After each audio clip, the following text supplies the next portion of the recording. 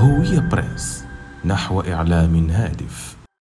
قررت وزارة الأوقاف والشؤون الإسلامية إلغاء ربط عدادات الماء والكهرباء بالمساجد بالسكن الوظيفي للأئمة والمؤذنين وبررت الوزارة قرارها هذا بسبب الارتفاع الملحوظ في فواتير الاستهلاك الخاص بالماء والكهرباء والاستغلال غير القانوني ودعت المندوبية الإقليمية الأئمة والمؤذنين إلى إدخال عداداتهم المائية والكهربائية الخاصة بهم. وجاء في نص مذكرة المندوبية الإقليمية للشؤون الإسلامية بإقليم صفرو الموجهة إلى السادة الأئمة والمؤذنين تنفيذا لتعليمات الوزارة في الموضوع بخصوص الارتفاع الملحوظ في فواتير الاستهلاك الخاص بالماء والكهرباء ببعض المساجد. نتيجة اشتراك عداداتها مع بعض المرافق التي لا تدخل ضمن مكونات خدمات المسجد. بسبب الاستغلال غير القانوني وعليه حسب المذكرة فإن المندوبية إذ توجه هذه المذكرة إلى القيمين الدينيين الذين يستفيدون من السكن الوظيفي تدعوهم لإدخال عداداتهم المائية والكهربائية الخاصة بهم حيث سيتم فصل عدادات المساجد عن السكن الوظيفي وذلك في أقرب الآجال.